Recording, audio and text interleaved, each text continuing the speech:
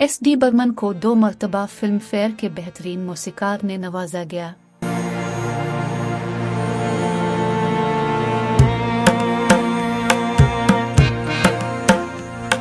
हिंदी फिल्मी दुनिया को अपने बेमिसाल मौसीकी से शराबूर करने वाले सिचंदी उनतीस अक्टूबर एक हज़ार नौ सौ पिचहत्तर को इस दुनिया से अलविदा कह गए।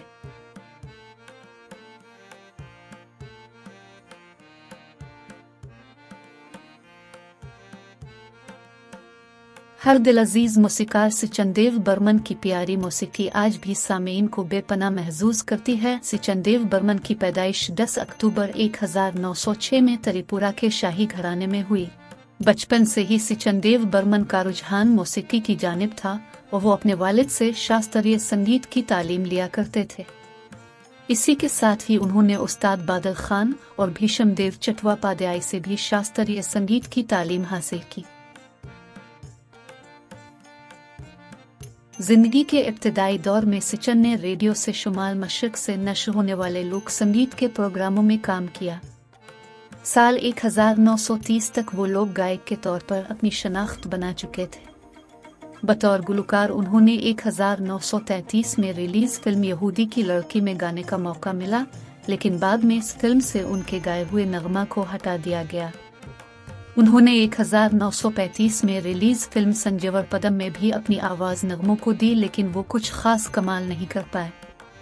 साल 1944 में मौसीकार बनने का ख्वाब लिए सिचंदेव मुंबई आ गए, जहाँ सबसे पहले उन्होंने 1946 में फिल्मिस्तान फ़िल्म एट डीज में बतौर मौसीकार काम करने का मौका मिला, लेकिन इस फ़िल्म के ज़रिया वो कुछ खास पहचान नहीं बना सके। इसके बाद एक हज़ार नौ सौ सैतालीस में उनकी मौसीकी से सजी फ़िल्म दो भाई का नगमा, मेरा सुंदर सपना बैठ गया के बाद वो कुछ हद तक बतौर मौसीकार अपनी शनाख्त बनाने में कामयाब हुए। इसके कुछ अरसा बाद सिचन देव बर्मन को मायानगरी मुंबई की चकाचौंध कुछ अजीब सी लगी और वो सब कुछ छोड़कर वापस कलकत्ता चले गए। हालाँकि उनकी तबीयत वहाँ भी नहीं लगी और वो अपनी अब को मुंबई जाने से नहीं रोक पाए।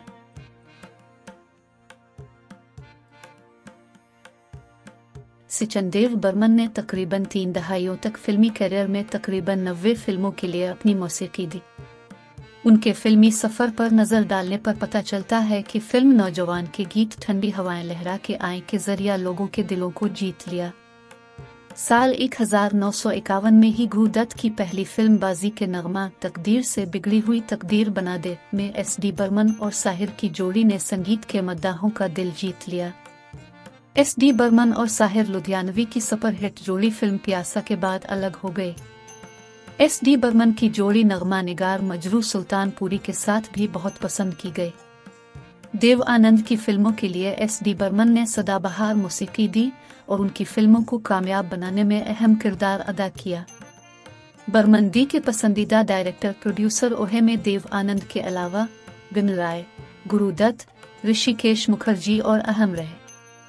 बर्मंदी का फ़िल्म इंडस्ट्री के किसी भी फनकार से शायद ही कोई झगड़ा हुआ हो, लेकिन उन्होंने एक हज़ार नौ सौ सतावन में रिलीज़ फ़िल्म पिन गेस्ट के गाने चाँद फिर निकला के बाद लता मंगेशकर के साथ काम करना बंद कर दिया।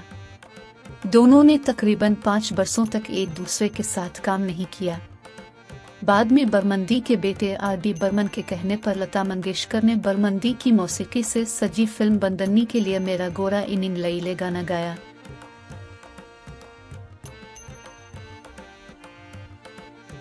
मौसीकी देने के अलावा बर्मंदी ने कई फ़िल्मों के लिए गाने भी गाए।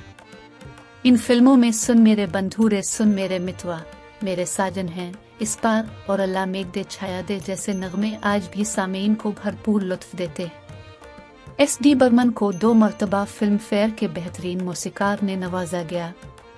एस डी बर्मन को सबसे पहले रिलीज़ फ़िल्म टैक्सी ड्राइवर के लिए बेहतरीन मौसीकार का फ़िल्म फेयर अवार्ड गया।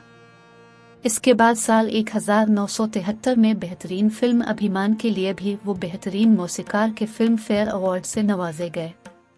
हिंदी फिल्मी दुनिया को अपने बेमिसाल मौसीकी से शराबूर करने वाले सिचंदी उनतीस अक्टूबर एक हज़ार नौ सौ पिचहत्तर को इस दुनिया से अलविदा कह गए।